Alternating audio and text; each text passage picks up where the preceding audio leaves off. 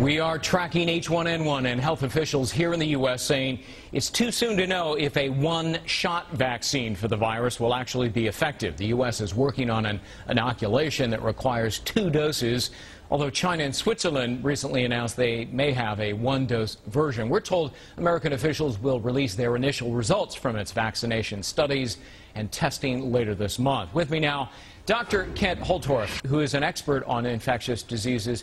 Doctor, thanks very much. We're going to put up on the screen the classic H1N1 symptoms, and I got this uh, from the WHO and the CDC.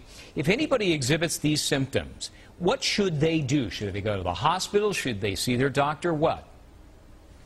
Well, the nice thing is it's showing that the H1N1 virus is losing its virulence.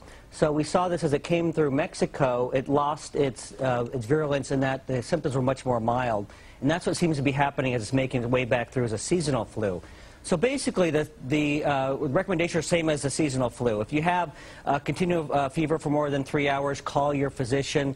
Uh, if you have recurrence of fever after it goes away, if you have a high risk, including small children, um, consider calling your physician. Yeah. Uh, if you do have, let's say, a kid turns blue, has blue fingernails, go to the emergency room but the, it's really, there's no difference between who to take to the emergency room or to the doctor versus a seasonal versus a swine flu. Mm-hmm. In fact, if you had to choose, you'd probably choose at this point the swine flu over the regular seasonal flu. Is that right? All right, now what do you think of the vaccination? You know, that's the, I have more concern about the vaccine than I do about the swine flu.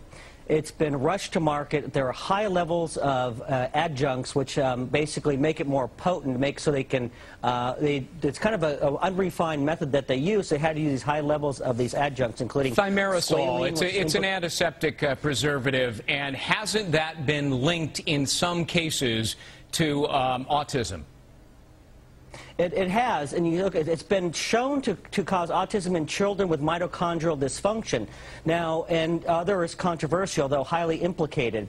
And the problem is you don't know if your child has mitochondrial dysfunction. I also worry about children and people who have blood-brain barrier dysfunction or it's not fully uh, developed, which include children, pregnant women, chronic neurological illnesses, and chronic fatigue syndrome and fibromyalgia. I've seen these people have been uh, devastated by these infections. Right, would you give it to your kids?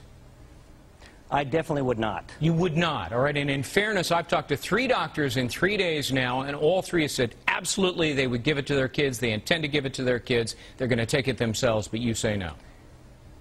I, I, definitely would not. I've seen it devastate people with chronic fatigue syndrome, fibromyalgia, highly implicated, again, in, in autism.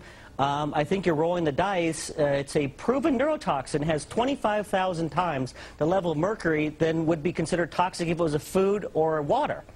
Right. And levels get up, serum levels up to 100 times the toxic level. I, it, it, just, it's too big of a risk. All right.